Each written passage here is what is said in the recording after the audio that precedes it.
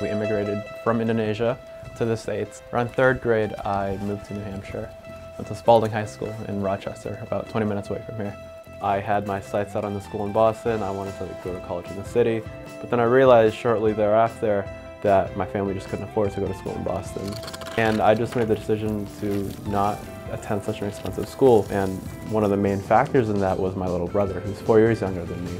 Be going to college soon after I graduate. Because of the financial assistance and the scholarships that I received from UNH, it was the best financial decision for me as well as my family. The biggest one is the Hamel Scholarship, and that's really, you know, made my time here at UNH possible. Uh, I literally wouldn't be here without them. I'm now a double major in mathematics and philosophy.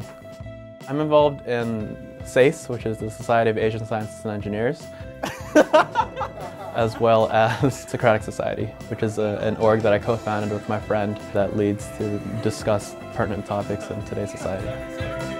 I've gone through a series of changes well during my time here at UNH. First year, the impact that UNH had on me was really seen through leadership camp, and it really formed me as a leader, and it really was the foundation of you know the leadership that I have here at UNH. And then after that, I became an orientation leader as well as an RA. Oh, Part of my love of being an RA is you know it lies within that love of giving back to the community and helping to help people assimilate to the college culture.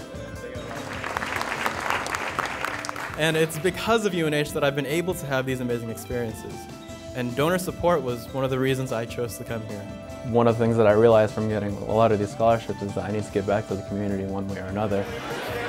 Part of the reason that I help talk to these alumni and spread the word of the effects that they had on me is to show them the effects of their investment of the university. And I think both parties enjoy it because one, I get to tell them, you know, how I've done with the, the opportunity that they've given me and on their side, they get to see, okay, like this is actually having an effect and an impact on people's lives.